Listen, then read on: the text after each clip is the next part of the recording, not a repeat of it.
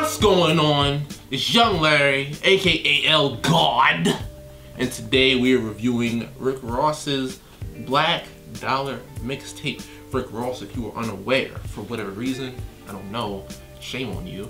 Uh, Miami rapper, came out quite some time ago, I think under Def Jam or something involving Jay-Z uh, around that time.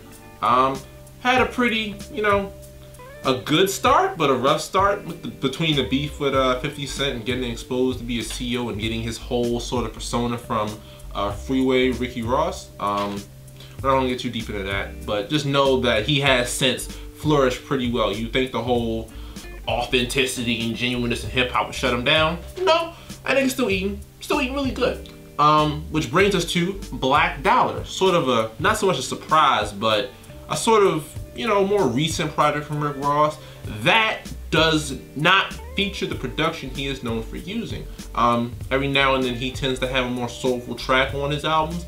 This mixtape is not so much soulful, but a lot, what's the word?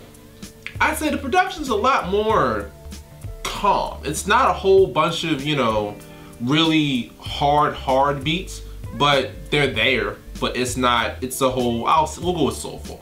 There's a lot more soulful feel to it. Um, namely, in tracks like We Gonna Make It, which brings excerpts from the news during the Baltimore uprising, riots if you're that kind of a fucking fuckboy. I don't, we don't say that around here. Um, but that was really dope. And to hear Rick Ross on some uplifting shit was new for me personally, so I was definitely appreciative.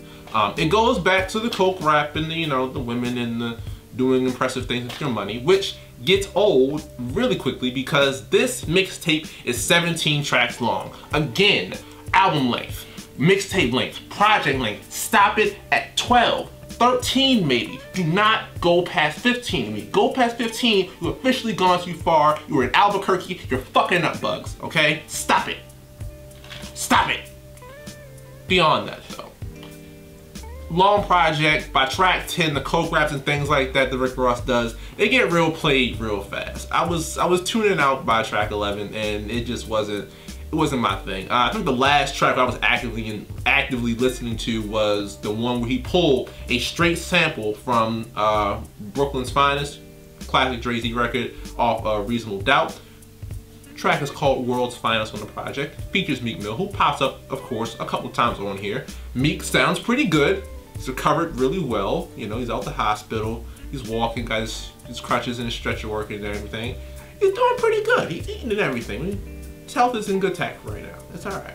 But um, beyond that though, Rick Ross, man, he's an interesting cat. Um, all this time of just been of just making making the same music, and it's not quite on the level of a young Jeezy, um, even though I don't understand the cat, not quite the uh, the cult following of a Gucci Mane.